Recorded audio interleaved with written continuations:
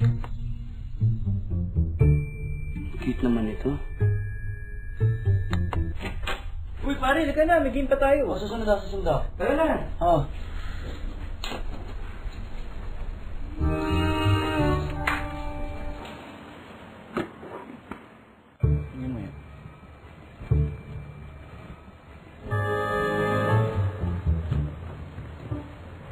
Uy, sino yan?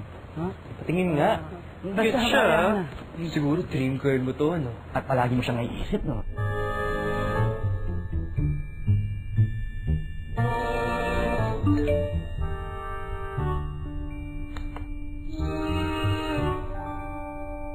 Mukhang ikaw na nga.